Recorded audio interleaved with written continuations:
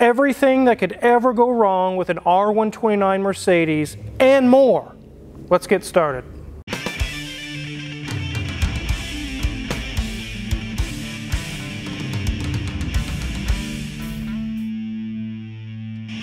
So this is a 1994 Mercedes SL600. No, not a SL500, an SL600, which is the V12 model. These are very sought after because of the V12, and it does appear to be in pretty good shape. But this is another one of those situations where it's buyer beware, and just like Hoovie has gotten scammed on some of the cars he's bought, that has happened again on this customer's car. I really feel bad for the customer. He's a really nice guy. He really didn't deserve this to happen to him. So let's take a look at this thing before we dive in. So these do have a very beautiful front end. I really like the styling of these cars, and they are a nice car, but they can be very difficult to sort. As you can see, right off the bat, the headlight is cracked. It is glass, not plastic. And although that might be expensive to fix, that is the least of this customer's worries. And we go down this side here, we can see that the ride height is a little off. That is one of the fault codes with this car. The suspension system is having a lot of errors right now. The front rides high, the rear rides low. No serious damage down this side. It does have the hardtop installed at the moment. As we get to the back, you can see it is an SL600 as denoted on the trunk. Tail lights are in good condition. It is a little dirty, it has rain spots on it. But as we go down this side, it is in decent shape as well. And you can see it says V12 there on the molding. Everything else looks pretty good as far as the body is concerned. Just by looking at the car, you would think it's in really good shape but it is not. Let's take a look at the interior. So here we are, ladies and gents. Look at that dash. It's a very iconic, iconic Mercedes dash up there. You can see it does have 96,000 and exactly 500 miles. While that does seem like a lot, that's not that terribly many for being that this is a 94. If we look up there at the dash, this is a nice, really dark, dark brown color, but that dash is in amazing shape. All the vents have all of their little louvers in it. This is looking and presenting very well. We look down at our classic Mercedes stereo. All of our HVAC controls look good as well. Classic shifter pattern for our Mercedes as well. And as we slide over, we do see it does have a beige leather and it's looking really good. Door cards are in great shape as well. As we move to the back seat, or really the back shelf, looking really good. As we look at the headliner, you'll see there's some sag going on up here. So this obviously would need to be addressed. But again, this is not the worst part of his troubles. One advantage is sitting here, and being that I am 5'9", I, my head is not touching any of that fabric that is falling down. So that is one plus. But as you see, we can see it's kind of coming in, hitting those headrests. So Definitely annoying, but again, it gets much, much more annoying. So as we end up here back at the steering wheel, nice classic Mercedes design, but I'm really wondering if everything is looking this good, what really is the problem? So being that this is a 1994 model year, it's not going to be anything with SBC, ABC, or any of the modern Mercedes systems. Those aren't even on this car. I want to show you guys something on my phone real quick. It's a recent sale of an SL600 on Bring a Trailer. So as you can see in that picture, you can buy a nice sorted SL600, albeit a newer model, for around 18 grand. A really nice one. We're going to go over everything that's wrong with this car, but the things that are wrong with this car will be 15 to 20 grand to fix them. I'll let that sink in for a minute. That's right, you heard me right. 15 to 20 grand to fix everything on this car. The customer purchased this thing for 7,500 bucks, and just as we looked around the car, we looked inside the car, it's like, wow, this is turning out to be pretty nice. It's not so bad. But you guys have no idea. Wait till we show you the items that are really bad on this car. 15 to 20 grand, guys. Obviously, when the customer came in, we showed him everything and and kind of went through it. You could tell that his heart sunk. He was really sad. He was like, "Oh man, this this bites. I got scammed." It's like, "Yeah, I know. It's it sucks." So he's going to take the car. He doesn't want us to do any more work, and we're just going to let it go. We're not even going to charge him anything. We, I feel really bad for the guy. He got took to the cleaners. So let's start with the first item. Okay, I'm going to take this uh, hardtop off and see where we go.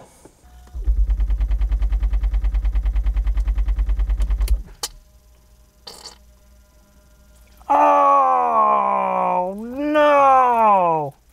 All over your brand new Gucci suit. All over you. But just wait, there's more. You just bought that million dollar house, and now this is all over your driveway, bro. All from the convertible top system. But just wait, there's more.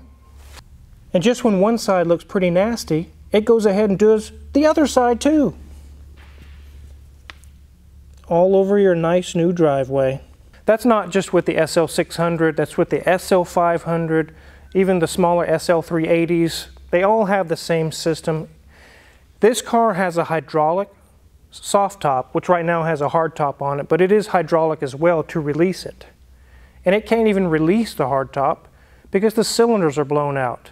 We all know the story about how these systems like to splooge all over you when you have issues with the cylinders, and you just saw it with your own eyes all over your new Gucci suit. This, like I said, is not fixed for a hundred bucks. There are 11 hydraulic cylinders that run this system. So we're not going to just fix one or two and call it good because the next weakest link in line is going to fail and in 60, 90 days, you'll have the same problems all over again. You'll bring it back to the shop, we'll fix the next one, and then you'll have it for another 60 or 90 days, and the next one down the line will fail. It can't hold the pressure. And this can happen eight or 10 times. Here in the header panel right here above the windshield, there's a cylinder right here, and there's another one right across the way there that does actual locking of the soft top or the hard top where it locks in right here. So there's two. We'll take a couple steps back down inside the body, right behind the doors, there are two on each side, a really large one and a couple smaller ones that operate some arms for the soft top. Back here there are two more cylinders that operate lift and lower the soft top. There's also some locking mechanisms, one right around in here that locks the soft top when it comes down, and then there's two more after that that are right behind this panel. You can kind of see right through here, there's some of it right there. You can see some hydraulics and things. I don't want to pull it all apart because we don't have the okay to, to do all that, but underneath this where the spare tire sits is the actual hydraulic pump. That powers the whole system with hydraulic pressure. So obviously we have the okay from the customer to film this and demonstrate everything. We actually have rags posted right inside the driver's door to catch that fluid that just came down. We didn't just pour that all over his interior everything. We definitely wanted to demonstrate to those who have not been familiarized with the R129, when these things fail, it's it's not just disastrous, it's messy, it's disgusting. It gets all over you. Now we have to go through and pull apart most of all the interior. We have to pull the header panel down. We have to pull the side panels all apart. We have to pull in the trunk all apart and start pulling all of these 11 cylinders out. And it's not done in 30 minutes. It's a 10 to 12 hour job. Then we take all those cylinders and ship them to Mercedes Hydraulic Cylinder Repair in Topeka, who I've used for many years. And he takes and rebuilds them with all new seals and makes sure everything's sealing right and sends them back. And it generally can be upwards of a grand or more, depending on if there's any damaged cylinders. It can be right around a grand. It could be three or four grand. You just don't know until you send them to them. And it gets expensive really fast. And you haven't even fixed it yet. Usually when we send those to him to be rebuilt, it can take a week or two before you can get a turnaround and get them back. If I was going to get the go-ahead to do these, this would be my 14th set of R129 cylinders. I've done a lot. When I first met Tyler, that was a big thing that we did, not only Land Rover head gaskets, but we did R129 tops. We did a lot of them. So that right there alone, four to six thousand dollars, probably in the upwards of five or six. You start getting in there and finding out sensors are bad, some of the contact sensors or relays or things that were not planned for because the top doesn't operate. You can't test it. It gets very expensive fast. But that's not where it ends with this car. You say, well, six grand is not that bad. How did you get to 15? Let's open the bonnet. Yes, the bonnet. Here we have the venerable V12, and the engine itself is not really troublesome. It's actually a really good motor. It's powerful. Sounds good.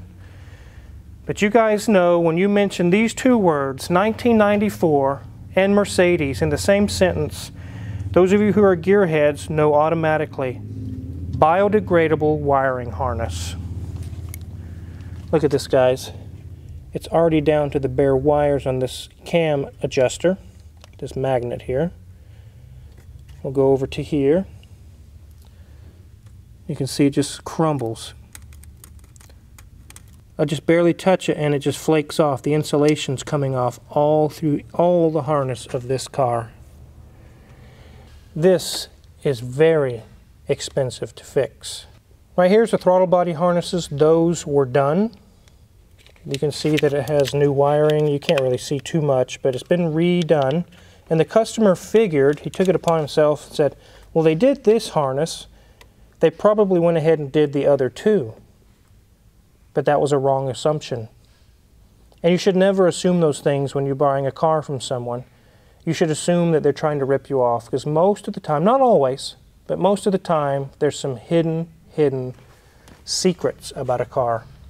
So this is a really special engine. It's almost 400 horsepower, 420 pound-feet of torque with no turbos, no superchargers, lots of power, very smooth, smooth as silk. It's a really a good engine. It's unfortunate what's gone on here.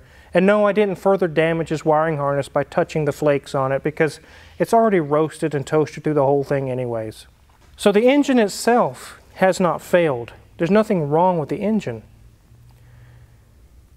But with these wiring harnesses, you guys know in the early 90s, they attempted to make biodegradable wiring harnesses that were good for the environment. And over the course of 30, 40, 50 years uh, later, they would degrade and kind of meld back into the environment without having a bunch of plastics.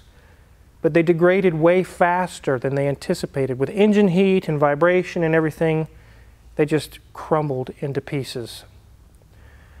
This one's no exception. The customer thought that they had been replaced. They, he was literally a gut punch to him when he found out they had not been replaced. This thing has suspension issues. It has an ASR light on. It has several other issues. It runs really bad, and now we know why. It has an upper wiring harness, a lower wiring harness, and also the throttle body wiring harnesses. There's three harnesses. These are not easy to get to. They're very difficult. A lot of things have to come apart to get to them. And I talked with my buddy, who's Ed Bolian's Mercedes mechanic in Atlanta. The guy is a guru on these older Mercedes. I said, How about these wiring harnesses on the SL600? Can you even get them anymore? He goes, Nope. Now, some people have commented at different places, oh, you can get those still. Yes, you can for the SL500, but not for the SL600. And I asked him, I said, well, what do you do? His name was Cameron. He, he has a shop in Atlanta. I said, what do, you, what do you do? How do you fix this? He said, he's done a few already by hand. He had to hand make every wire of the harness, top and bottom. He charges around eight to nine thousand dollars. If you can find these harnesses, they're usually one, two, three grand a piece. These are so rare and so hard to find. Car Wizard, did they make them with better quality product, or is it still the same biodegradable wire that's going to trash? They do have the upgraded harnesses, and there was for a while you could get these harnesses pretty readily, but as these cars are getting older, there's less of them on the road. They don't make them anymore, especially for the SL600. So no, don't go posting in the comments. You can get those for 100 bucks, 200 bucks. Yes, you can for the 500, but not for the 600. If that were the case, my friend Cameron would not be hand wiring and making the harnesses for people for nine grand. So $9,000 here, possibly $6,000 there. We're at $15,000 and we haven't even gone through to make sure the transmission works or gone through and check everything else out. And we haven't addressed the broken headlight or the sagging headliner or other issues going on with this car like I just mentioned. I wouldn't be surprised if we could approach $20,000 with this car very easily. And just like I just showed you in the picture, you can go to Bring a Trailer for 18000 and get a fully sorted, good running SL600. When I showed the picture to the customer, he, he right away agreed. He said, it doesn't make sense to dump this kind of money. He may get the wiring harness fixed. If he can find it cheaper, he may call the people and, who did these harnesses here. Maybe they can do the rest a little cheaper. He's going to try a few options before he just gives up. But as far as it getting fixed here, it's basically totaled, guys. Just be careful, guys, out there, wherever you're searching for cars and you find one that looks really nice. I see frequently something like this for sale and it says, just needs a tune up. You guys just saw with your own eyes, this needs so much more than a tune up. Don't fall for that trick. You're not going to put spark plugs and coils on this and solve the problems that it has. And if a person could double their money by doing a tune up, why wouldn't they do the tune up? Because it's not a tune up that's wrong, there's so much more wrong. There's some cars out there you can take a gamble with, especially if you're a mechanic, just like you saw the Juke video. It's coming along very nicely. We're going to do another video on that soon. It's turning out way, way good. I'm very happy with the results. This is not a car to take a gamble on if you're not a mechanic because you can get it home, take it to the mechanics like what happened here, and literally get a devastating gut punch. Me and Mrs. Wizard actually talked about this situation. If I were to purchase this car, would it be worth it? And even with me doing the work and supplying the parts, it's still not worth it. I would not be interested in fixing this car and keeping it. So the idea of, well, a backyard mechanic could get this thing going, yeah, they could, but it's not that much more just to get one that's sorted. It's almost just not worth it. That's why I mentioned, unfortunately, it's almost totaled. Insurance wise, this car is totaled. So be very careful out there, guys. Please. I don't like this seeing this happen to my customers. It's, it's sad. It makes me really sad. But if you're curious what kind of tools we're going to use to work on all these cars in the shop, actually, check my Amazon affiliates link in the description below and we get a small cut. We really appreciate it. And make sure to hit the subscribe button because there's always really cool stories and really cool cars pulling into the shop. Thanks for watching.